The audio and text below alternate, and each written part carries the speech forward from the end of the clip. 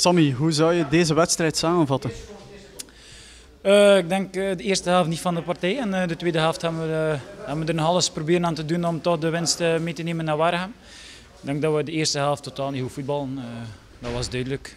we waren niet scherp in de duels, verloren veel ballen. En, ja, zij stonden denk ik ook goed achteraan. Zij, wij vonden geen oplossing. En als je dan begint te lopen met de bal, ja, dan, ga je, ja, dan, dan ga je de verkeerde kant op. En uh, de tweede helft hebben we dat iets aangepakt uh, met rapper voetbal te spelen en een beetje de ruimtes te benutten achter de verdediging. En dat lukte wel. En, ja, we scoorden wel met een penalty, maar ik denk wel uh, dat het verdiend, dat verdiend is. Steve Kolpaert, kunnen we na vandaag zeggen dat die onderbreking ja, niet echt op het gepaste moment kwam voor ons? Oh, niet op het gepaste moment. Denk, we hadden de rust wel nodig. Denk, het is altijd een zwaar programma voor ons.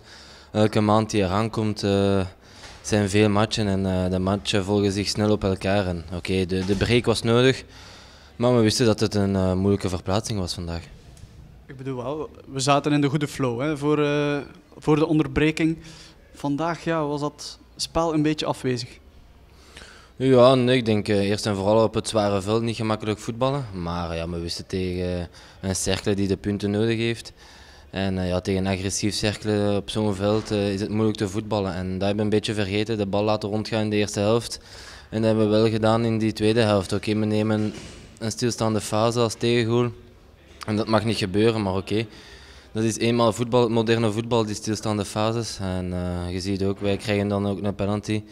Maar ja, het, is, het zijn op details, ja, de matchen worden beslist op details eigenlijk. Even over die stilstaande fases. Als ik, het, als ik me niet vergis, was het het eerste tegendoelpunt op een stilstaande fase. Normaal wel onze sterkte eigenlijk. Ja, maar zo, zolang dat je geen stilstaande fase binnenkrijgt, uh, dan, dan wacht iedereen misschien nog op dat, dat je ooit een keer zoiets uh, binnenkrijgt. Maar oké, daar moet je niet op focussen. Het is een spijtige tegengoal, want het is juist voor de helft.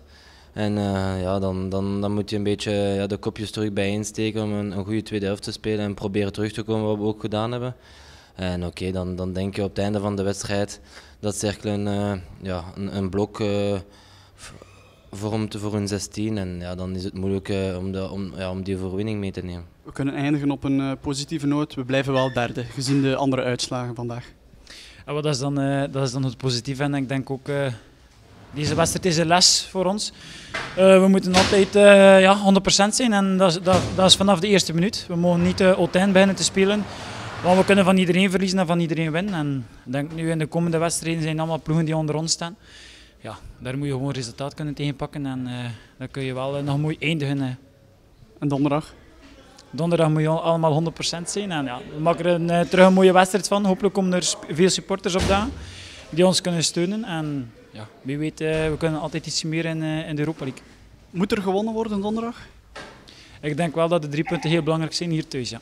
Oké, okay, dank u wel, Sammy Vossut.